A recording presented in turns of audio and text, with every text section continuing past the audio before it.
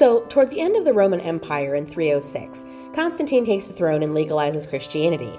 Then, after him, Theodosius comes to power and not only makes Christianity the official religion of the empire, but also decrees that upon his death, the empire be divided into the Eastern and Western empires. So we have almost 200 years from when Constantine legalizes Christianity until the end of the Western Roman Empire by the year 476. This timing is pretty significant because it allows Christianity to really spread and take hold throughout Europe. The bulk of the Roman Empire was in Europe, so Christianity was spreading throughout the European continent. Even as the Germanic migrations are happening, they are encountering this now Christian civilization, and many experience conversion to the Christian faith. So by the time you have the end of the Western Roman Empire, a vast majority of people in Europe are Christian. Had Constantine and Theodosius ruled even a hundred years later, there might not have been sufficient time for Christianity to spread so prolifically. Remember that Rome controlled virtually all of Western Europe, most of Central Europe, and all the way north to Britain. And while the Roman Empire was declining, there were all these Germanic tribes coming in from northeastern Europe and Western Asia. So, what ended up happening was that when Rome fell, the provinces outside of the Italian peninsula, especially Central Europe up through Britain, went from being ruled by Roman governors to having no central power over them at all. So, there was really this void of power in Europe after the fall of Rome.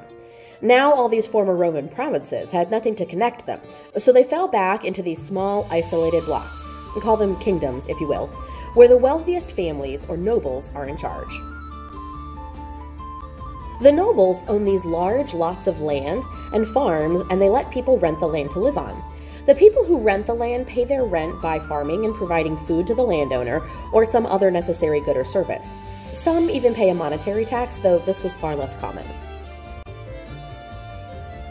But here is where things get sticky. The Roman Empire did a good job of keeping the citizens in its provinces safe, but once it was gone, they had zero defense. A random farmer and his family had absolutely nothing to protect them from some wandering barbarian tribe looking to plunder. So there's this time of uncertainty and terror. And what ends up happening is this pretty idealized social contract. These farmers and other poor, lower class people, they go to the nobles and say, Hey, you have enough money to get us some protection. What if I work for you and give you my food and other things in exchange for your protection? The nobles say, Sure, that sounds good. So now there's this system across large parts of Europe where this sort of mini society, it's called a microcosm, exists. So there's this noble, or king if he called himself that, but his reign didn't stretch very far, who owns this large amount of land, and all the people who live in his vicinity pay rent to live on his land and work for him in exchange for his protection. This system is called feudalism. There were different social classes in this system. The key idea, though, is that people were tied to the land and the lord of the manor, which is another word for a large house with lots of land around it. Some manors were tiny little castles. Some were monasteries, as during this time, as Christianity spread, the religious orders increased and the building of monasteries supported this growth. The lowest class of people were still slaves, but during this time, slaves weren't super popular because the Lord didn't have much to work with. Since there was no one traveling to places that once provided slaves, and no one was conquering new lands to turn prisoners into slaves, there really wasn't a large availability of slaves. The problem was that these large farms took a lot of manpower to run. And, of course, the owners didn't want to abandon their land and lose their wealth, so they were happy to promise protection in exchange for renting out their land.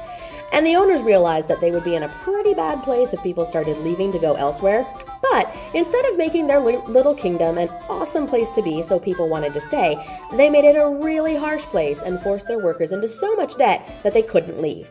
So you have this whole class of people who literally had nothing to offer except their labor, and a lord who promises them protection in exchange for labor. But you don't own the land you work on, so you can't leave unless the lord lets you. Well, guess what? They don't let you they're not going to lose essentially free labor. So you have these free people who aren't really free. They aren't slaves, they can't be bought or sold, and they're not considered property, but they're tied to the land. These unfree workers are called serfs.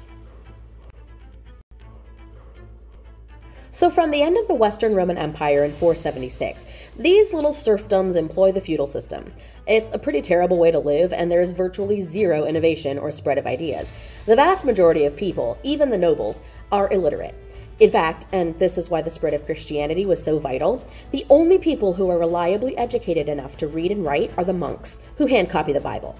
If Christianity had never been legalized and given enough time to spread throughout Europe, it's possible that most of Europe would have completely lost the writing system and records that go along with it. So, anyway, you have this time that is just not really all that great for anyone. It used to be called the Dark Ages because there was just nothing exciting going on in terms of cultural achievement. But then, during the 9th century, a little more than 300 years after the fall of Rome, this guy comes to power named Charlemagne. He gets this great idea to start working with a bunch of nobles and consolidate some land and power. He does a pretty good job and has this sort of mini empire in the works. This is great for the serfs because now Charlemagne gives everyone a little bit of protection, so there isn't this dire need for the lord who owns your land to keep you safe. But then he dies, and it sort of breaks apart again. But Charlemagne's footprint didn't disappear. There were two reasons for this. First, he gave a lot of the land he conquered to the church, so once he was gone, the people living on that land were now beholden to the church.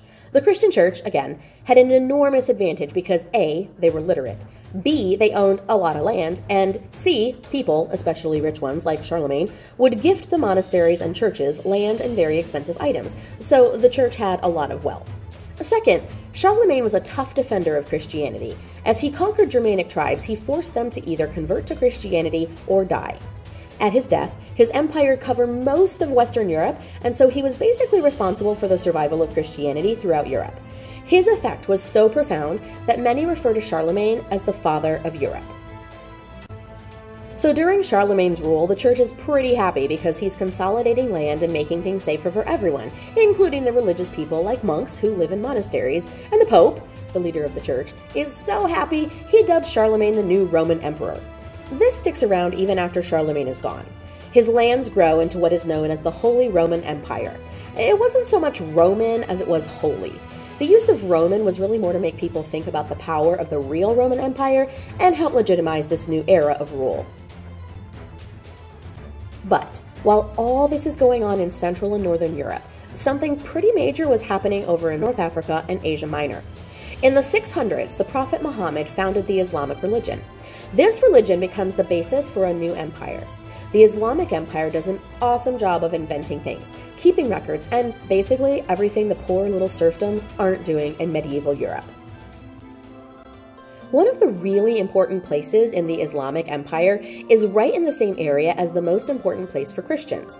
Well, this becomes a major issue with the church. They are not happy about this new empire that is not only interested in expanding their borders, but is also sitting right in the middle of the Christian Holy Land.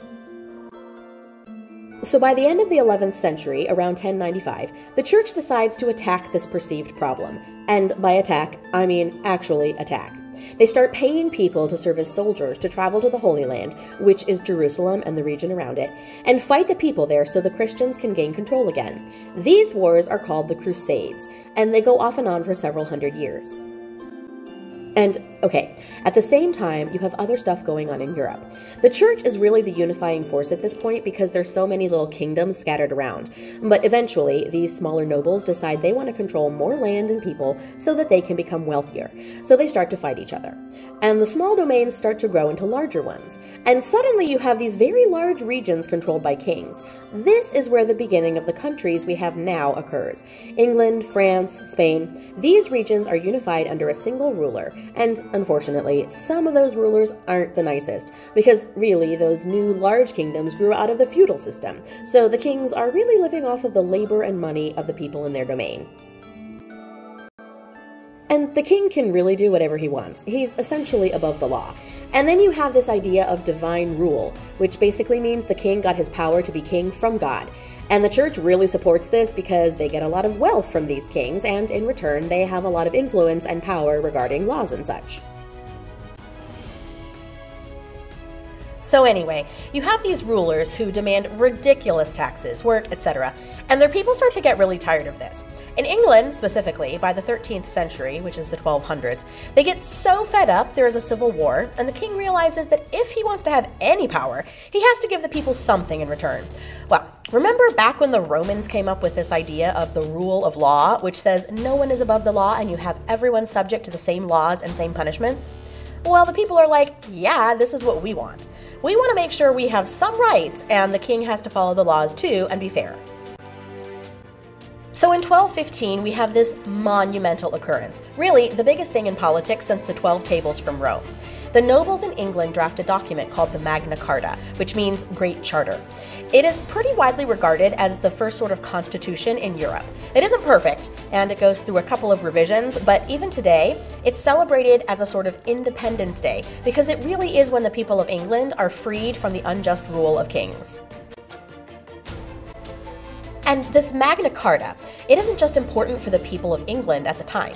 It's important for people hundreds of years later because as European powers start to expand to the New World, the British colonists start to feel kind of the same way as the people in the 1200s.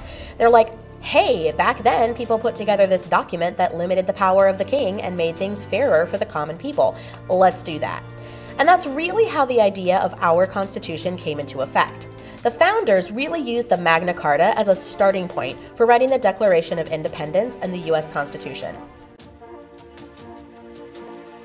But even before the founders used the Magna Carta as the blueprint for our country's important documents, others were influenced by it as well. Later in England, in the early 1600s, kings were gaining too much power, so the nobles drafted the English Bill of Rights to ensure that the king wouldn't have absolute power, which, by the way, was what had happened in France and was causing all sorts of trouble. And this really ended the major power of the monarchy in England and put Parliament in charge of the government. Not only in England, but in the New World settlements, the influence of the Magna Carta could be seen too. One group of people who were supposed to be sailing to the colony of Virginia ended up lost and landed at Plymouth in modern day Massachusetts. They realized that they weren't under the ruling boundaries of the English king, so instead of finding their way to Virginia or sending back word that they'd ended up in Plymouth, they decided they'd rather rule themselves and drafted the Mayflower Compact, which was its own little constitution of sorts. And so all of this was how governments really progressed from the fall of Rome to when America would declare its independence and form a new sort of hybrid government no one had ever seen before. Rome fell and created a power void. Landowning nobles became lords and kings and developed the feudal system. The church grew in power, Charlemagne came to power and started to bring things back together, nobles started to fight each other, and territories began to consolidate into larger and larger kingdoms. The church funded the Crusades, people in these now rather large kingdoms like England banded together and demanded rights and rule of law. The Magna Carta was written, exploration began, the colonies were founded, independence from England is declared, and the Revolutionary War starts. And there you have about 1,200 years of European history smashed into about 13 minutes. たら。